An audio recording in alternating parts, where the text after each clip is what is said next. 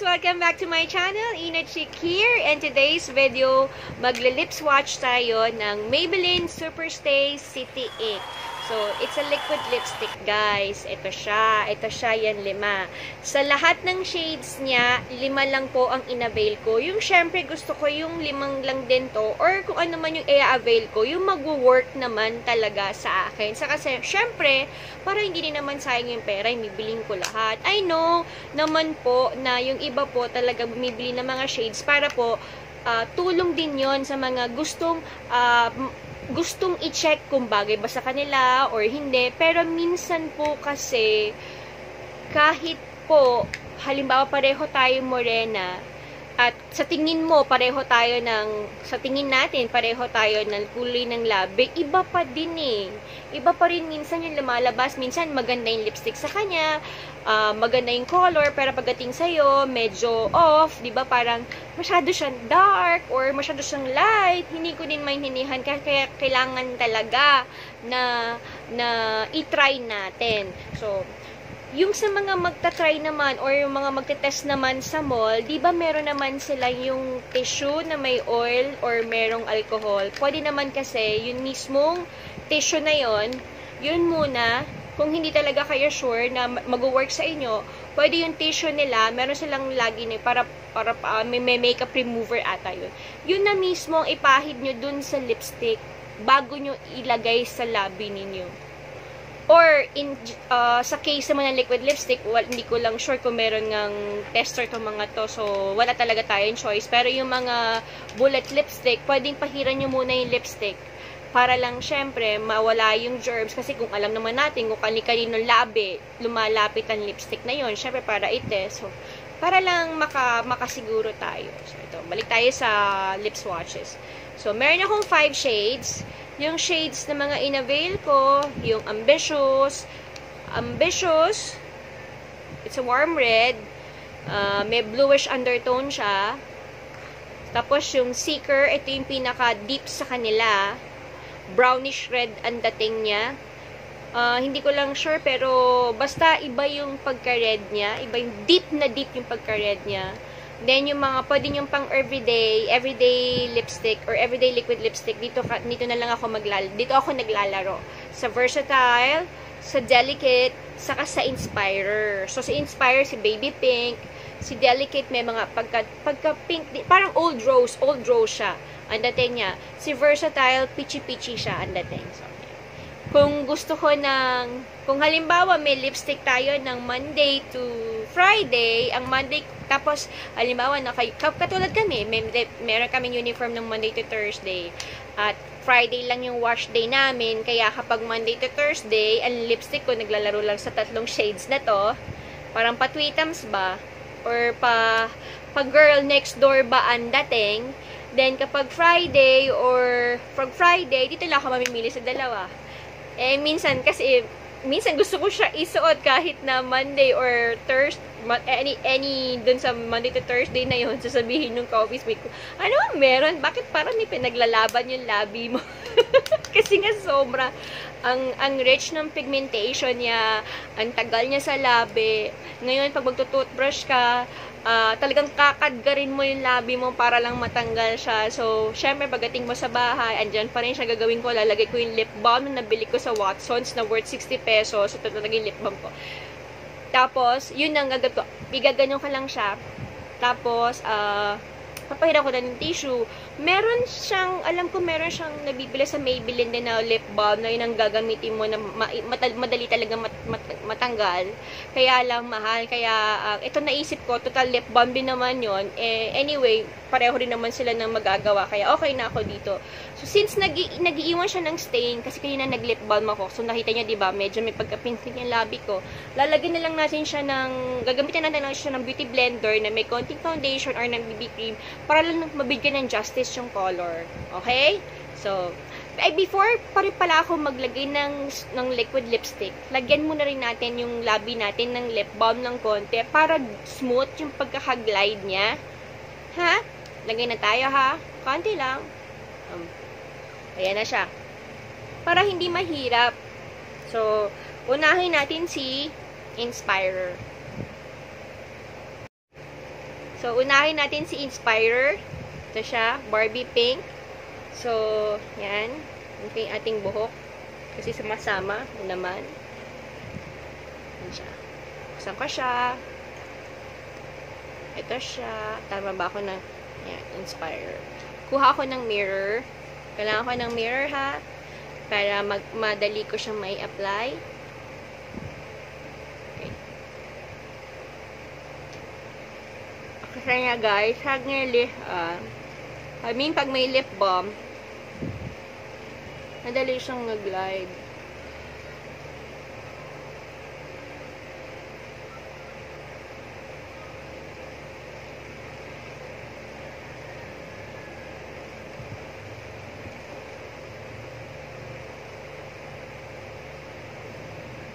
Ayan. Ang applicator niya pala ay doe foot. Applicator ang tawag dito.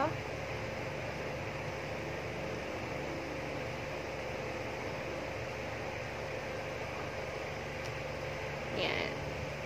Oh, ba? Barbie pink. Ang lakas makanene. Yan. Ito yung kulay niya. Okay ba? Kita nyo ba? Yan. Ito si Inspirer. Nakaka-inspire. Ang corny. Kaka-inspire.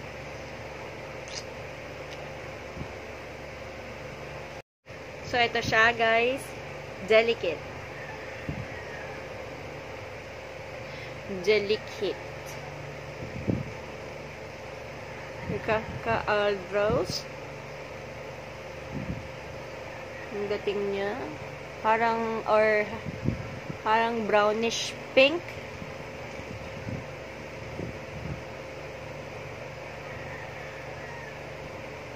Gusto ko kasi nakikita lagi yung cupid's bow ko.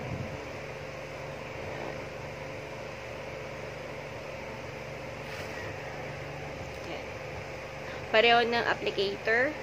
So, ito rin siya. This is, ay, ano, tenga. This is delicate.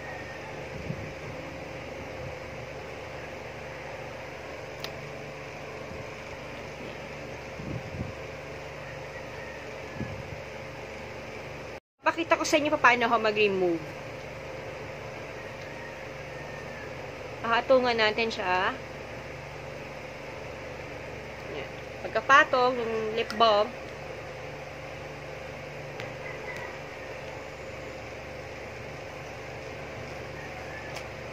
Ordinary lip balm lang yan, guys, ha. Nabili ko lang yan sa Watsons.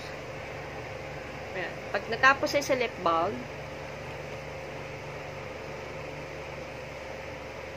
kung wala kayo yung mga makeup remover, see?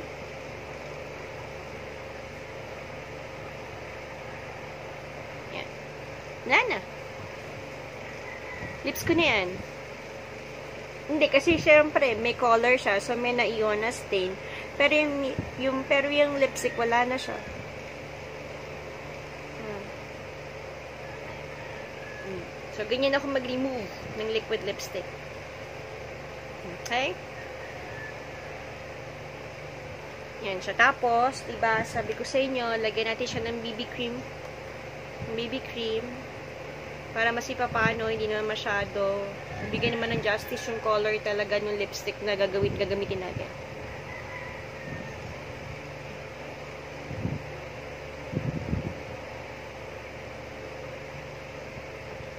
Karami yan.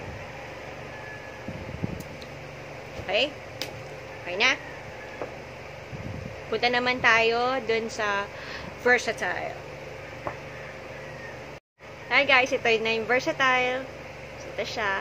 I hope sana nakita nyo yung difference nila yung, o yung pagkakaiba-iba talaga nila ha. Lagay lang ulit ako ng konti. Para hindi siya mahirap i-apply. Uh. Kuha ulit ako. Ito siya. Okay. Isang dip lang. So, hindi ako nagpapaulit-ulit. So, wala ko na mirror. Ba? Everyday. Everyday lipstick. Peachy something. Okay. Hindi mo na siya kailangan i-dip pa, paulit-ulit kasi napaka-pigmented ng item. I mean, ng, uh, ng product. Kaya kakaulit-ulit guys ng hagod kasi alam niyo naman 'di ba malines yung labi ko. So, gusto ko lahat ng mga lines na yon ma-fill in niya para uh, pag natuyo siya, lahat cover. Ayoko nang may mga gaps.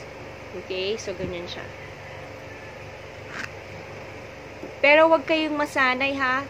Kasi may mga ibang liquid lipstick guys na ang dali niyang mag-set. So, kailangan pagka-swipe, yun na yun. Hindi mo na siya mahahabol. Kaya be careful. So, versatile. Ah, ganda, di ba? Gusto ko to. Gusto ko to color na to. Lahat naman sila actually gusto ko.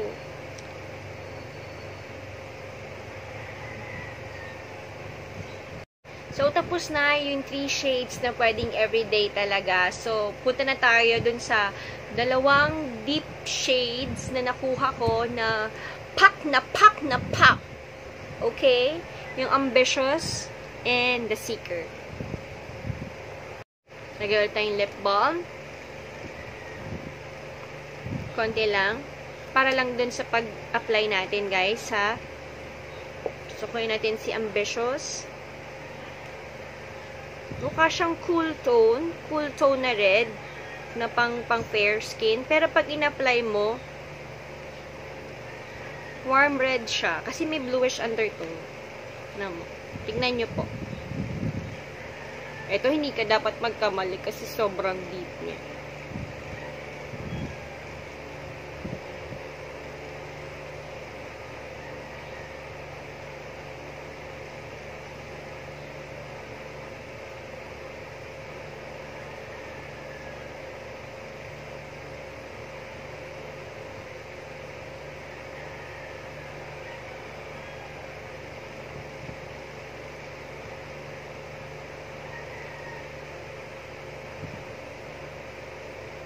Ito ang mahirap mawala sa lines.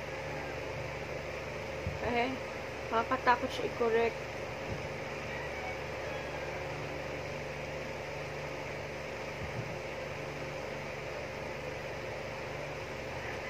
Ilala. Yung laahala. Ayan.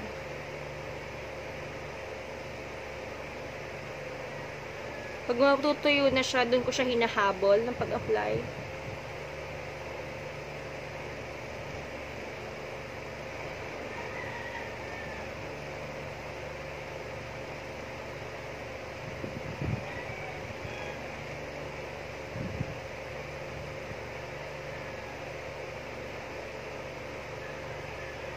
Diba?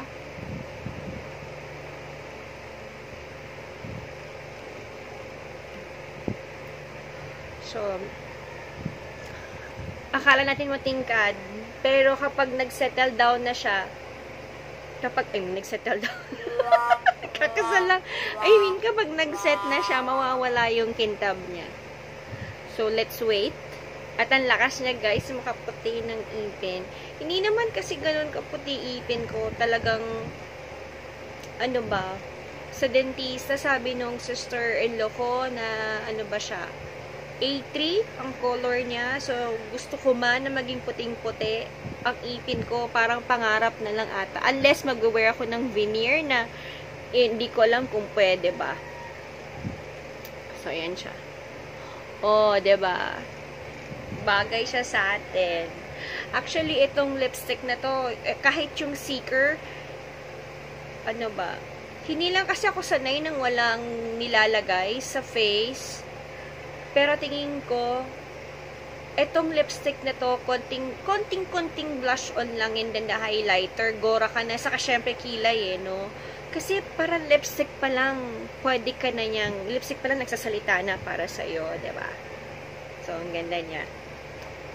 This is ambitious.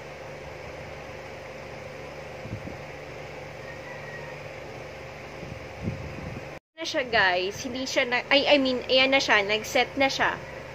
O, ba diba? Hindi siya ganun katingkad. I mean, katingkad na kayo na kasi may shine-shine siya eh. Pero ngayon, ba diba, nag-set na siya. O, Saka sabi kasi nila, kapag red daw yung lipstick mo, ang lakas din niyang makapula ng pisngi. Hindi ko alam, parang nakakapula agad siya ng, yung, yung dating niya, siguro kasi, parang nag add siya ng color agad sa buong face mo. So, yun ang sabi nila kapag daw red ang lipstick mo. Okay? This is ambitious. So, last shade na tayo ito na yung Seeker. Alam nyo, sabi nila, best uh, seller daw nila itong Seeker. Tignan nyo. Lagay ulit akong lip balm. Ano na, sorry guys ha, medyo kahit na nakakatuloy yung lip balm sa pagtanggal, masakit na rin yung labi ko eh. okay. So anyway, kahit na may color naman yung labi ko, eh, deep naman yung color nito. So, matatakpan din yan. Tingnan nyo.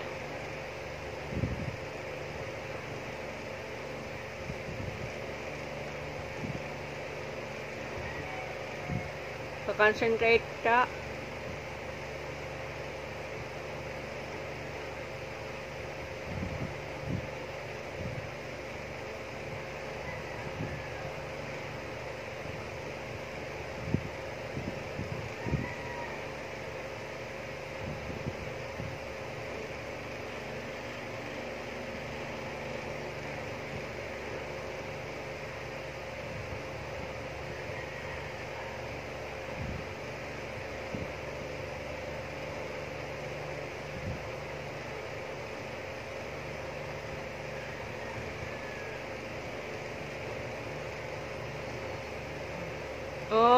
ba? Ang lakas niya kaputi ng ipin. Yeah. Sabi nila, yung mga lipstick daw na merong mga blue undertone, or ito kasi pagka brownish red, kaya ang lakas din yung maka, maka ano, yung makaputi ng ipin. O, oh, diba? Ano mas type nyo, yung ambitious o itong seeker? Seeker. so, ito siya.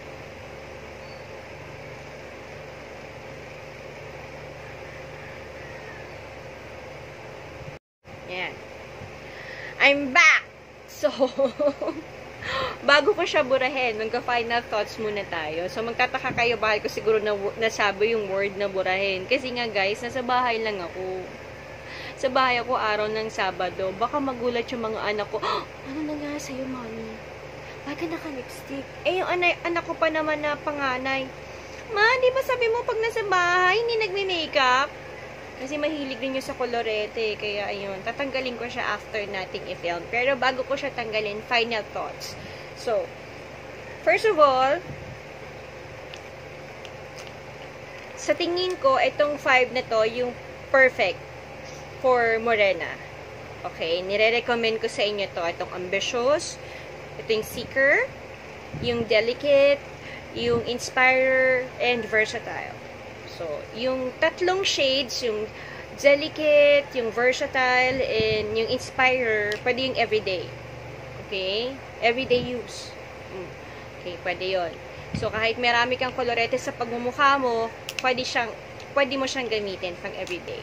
So, pero, kung meron kayong party, or meron kang, meron, lagi kang may nightlife, ang the best lipstick lipstick sa'yo, for me, ay yung Seeker or yung Ambitious. So, mamili ka lang doon.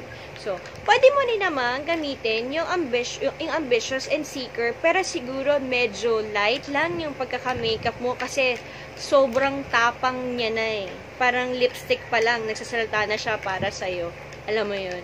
So, price, uh, $299 ang isa. Okay, nabili ko siya sa Maybelline na Shopee official store. So, 299 ng isa. Pero yung 299 mo naman, guys, isang dip lang. Nakita nyo ba? Hindi na ako sumausaw uli. Andoon yung color. Nalagyan ko yung labi ko na hindi na nagdi-dip uli. So, ganun siya kapigmented, ganun siya, uh, ano ba, hindi siya ganun kabalis na mag-set, kaya may time ka na habulin yung mga lines sa labi mo or yung ako, di ba nakita niyo ilang beses ako mag, mag-swipe mag-swipe kasi may mga marami akong lines sa bibig sa labi. Kaya gusto ko lahat yun ma-fill in niya kasi ayoko pag naset na siya eh, may mga gaps akong makita. So, ayan. Ano pa ba? So, 299. Uh, tapos, isang swipe lang. Hindi, unlike nung mga ordinary lipstick na bibili ka nga ng mura pero wala namang mangyari, kundi alam mo yon swipe ka ng swipe, I mean, uh, lagay ka ng lagay, kada kakain ka. Pero ito, guys, grabe. Talagang, ang natatanggal lang yung nasa inner corner, inner corner. Hindi, yan, inner corner. Pero yung sa labas, pack na pack siya talaga. I recommend you to buy this lipstick and I assure you, hindi kayo alalaglag. Comedy! And I assure you, na hinding, hinding, hinding, hindi kayo magsisisi. Anyway, pag nag-toothbrush ka naman, pwede yung mismo yung bristles habang may konting toothpaste pa, yun na yun. So, gabi na. O, bukas ka na ulit mag-lipstick.